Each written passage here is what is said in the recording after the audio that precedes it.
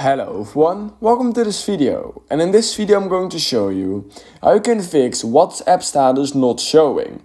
So if your WhatsApp status is just not showing, then here are 5 easy ways to fix this. So if your friends are just not showing your WhatsApp status, if your WhatsApp status is not showing to your friends, if it's not showing for yourself, then I have those five fixes for you that I found online that shall definitely fix the issue for you. So currently a lot of bugs are going around with WhatsApp status and that's why we need to have five fixes because for some phones fix 1 will work, for some phones fix 3 will work. So just make sure to stick till the end so you don't miss any of the fixes.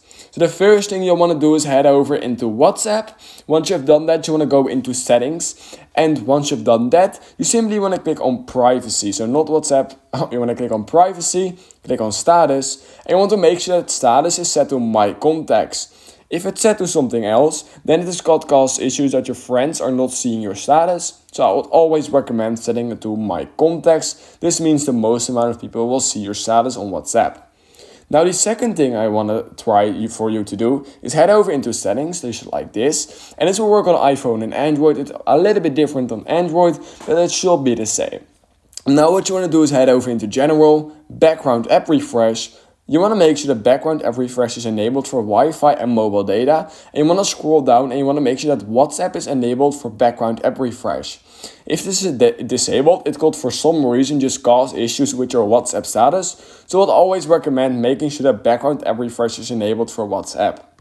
Now the third thing you may want to try and do is head over into the App Store and you're going to simply type in WhatsApp.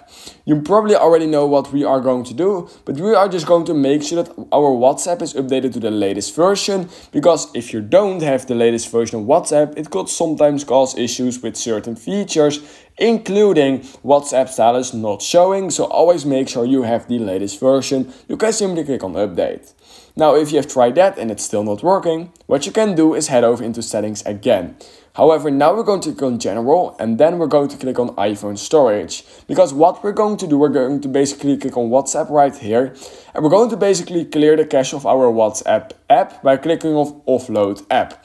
What this will do, it will hard reset your WhatsApp app. However, it will just keep all your contacts, all your messages will even still be there. However, this will just hard reset and clear the cache of your WhatsApp, which will most of the time fixes a lot of issues for your WhatsApp. So I'd recommend doing that.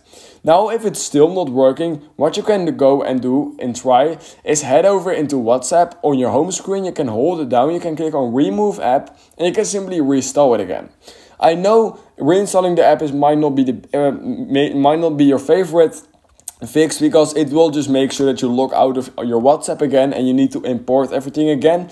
However, there's a 99% chance that once you reinstall your app, you can simply re- uh, you will, you will fix the issue. So I would recommend doing that at the end if all of these fixes didn't work for you.